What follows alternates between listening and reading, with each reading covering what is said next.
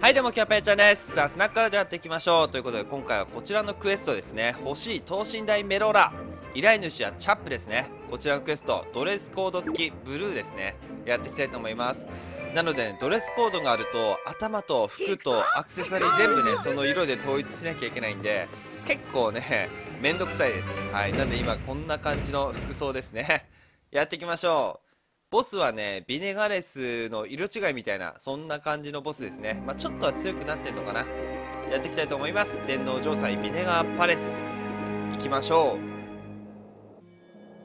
クエストスタート、ではでは、行ってきますよ。さあ、ということで、ボスフロアですね。早く入れて、行きたいと思います。この扉の向こうにビネガロスがいるんだね。ビネガロス。やっていきましょう。おお来た来た来た。闇魔獣ビネガロス。気持ち悪い。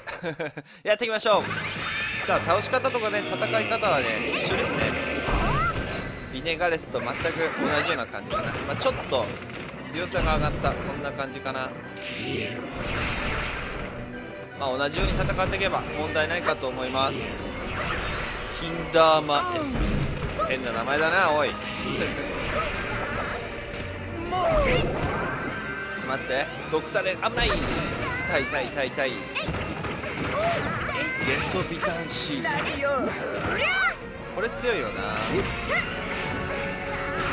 あでももうもうすでに5分の1ぐらいダメージ入ってる。いけるいける。全然いけんなこれ。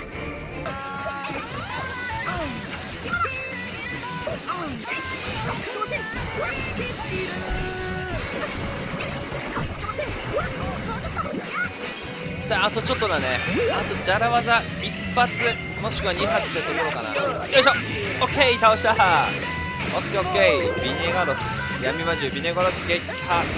さあこれでね多分だけどチャップが仲間になるはずなんだよね。どうだろうね。楽しみだ。宝箱はパフェ。闇のビデガロスタンはゲットしたね。さあということでじゃあ進めていきましょう。チャップ京平ちゃんこれで世界の部屋は守られた。王様そんなことより約束のあれはふふむ。もちろんじゃ。等身大メロラフィニアはすでに大臣が手配しておる。メロラ姫。なんだそれしかし困ったの京平ちゃんへの報酬がない。それは大問題だぞ。あじゃあ京平ちゃんには等身大チャップになれる装備のカタログ。あーでも普通に嬉しいこれは。え待って待ってチャップ来ないの？これで君のチャップにやったね京平ちゃん。嘘。あそうそうそれとスナックトルコもよろしく。来た来た。よっしゃ。チャップゲットこれで一緒に冒険ができる。使うか使わないかはまだ決まってないけどチャップのスナックを手に入れた。オッケー。チャップゲットしたね。ステータスが気になるよね。ステータス見てこうか。さあじゃあチャップのステータスこちらですね。グレートレア。HP がめっちゃ高いね。583で力はまあまあってところかな。技も結構いい感じ。回転スラッシュ強いねこれね。スーパーめっちゃギリだってスペシャル技。強そう。おなら耐性は これ多分受け狙いだよねきっと。はい。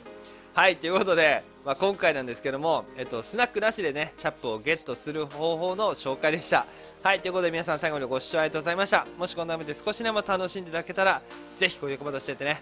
それではきょうぺいちゃんでした。また次回の動画でお会いいたしましょう。バイバイ。